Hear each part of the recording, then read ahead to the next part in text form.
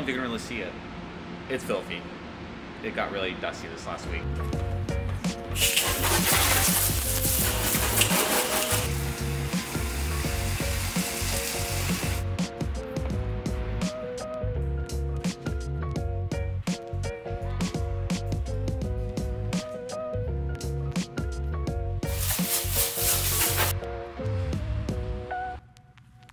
And it's all clean. Much better. So lately, I've been hanging out with a group of guys that were all Tesla guys. We all got Teslas, and it's actually been a lot of fun. But I know what you're thinking. Huh, nerd! And you'd be right.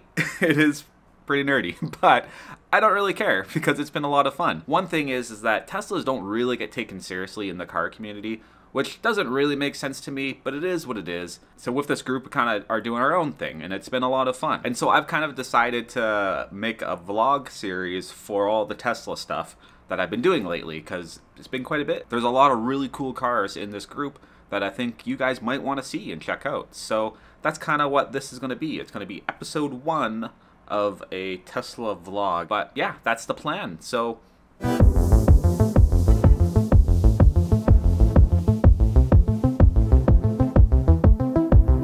Where I live, there's four charging options. One, obviously, Tesla Supercharger. Two, there's ChargePoint, which I think is more widely known.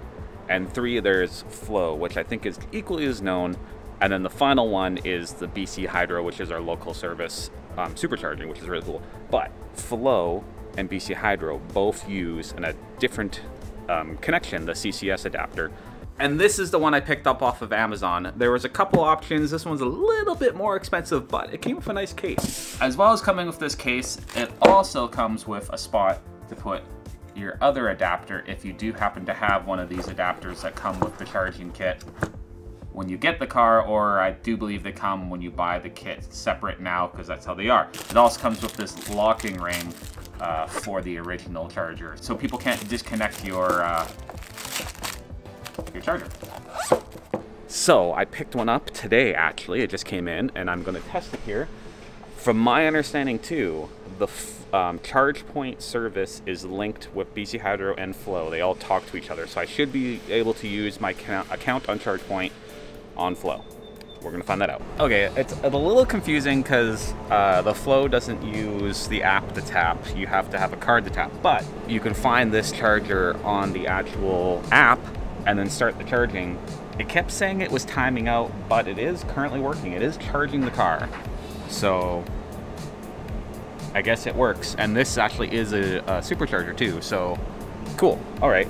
The next one now is a couple blocks away. There's a BC Hydro charger I'm gonna try and see if it works with this. Okay, I'm at the charger.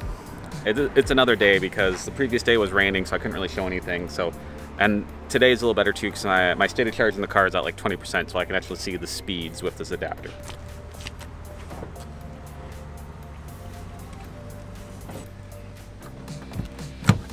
Okay, so here's the tricky part now. I gotta find the charger that I'm actually at. BC1019. It's 20, so 19 available. Start charging. Combo. Okay, according to the app, it is charging. Um, it didn't time out from the other app before. The only thing is this is a fast charger, which is fine, but I didn't precondition my batteries. So it is doing that.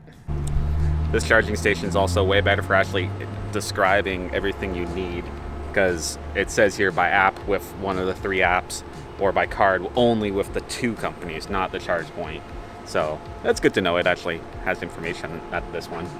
But yeah, so far this process of actually using um, like a government charger or a BC Hydro charger for my case is a lot more annoying with a Tesla than it should be because the Tesla superchargers are just so easy to use comparably. But uh, yeah, overall, it works though, so that's good. Okay, I've reached my uh, um, 40% that I want to get to. So what I learned last time too is you got to stop the charging in the car when you're not using a Tesla supercharger. Um, so stop charging, unlock port.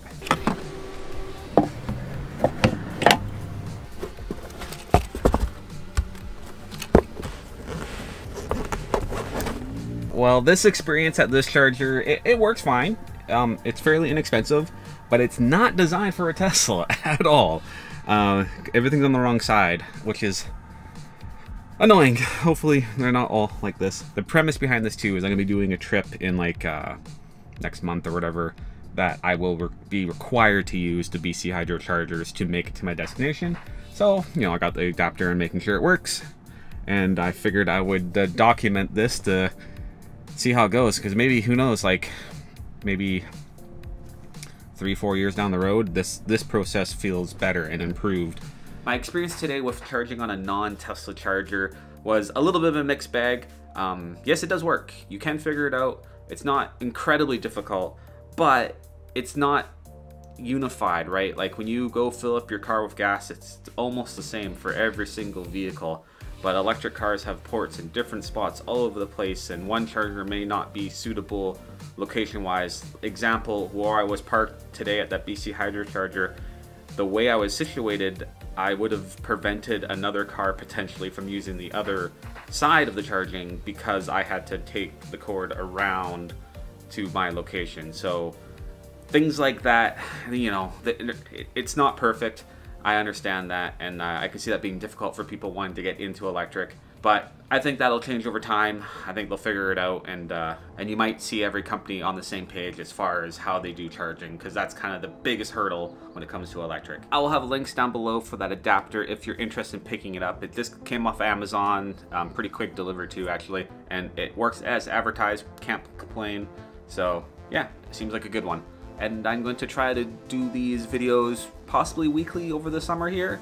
Um, yeah, it's fun, and uh, there's some cool stuff coming up that I'm going to want to share so that you guys can see some cool Tesla stuff because uh, these cars are cool and I think they get a bad rep, and let's, let's try to change that.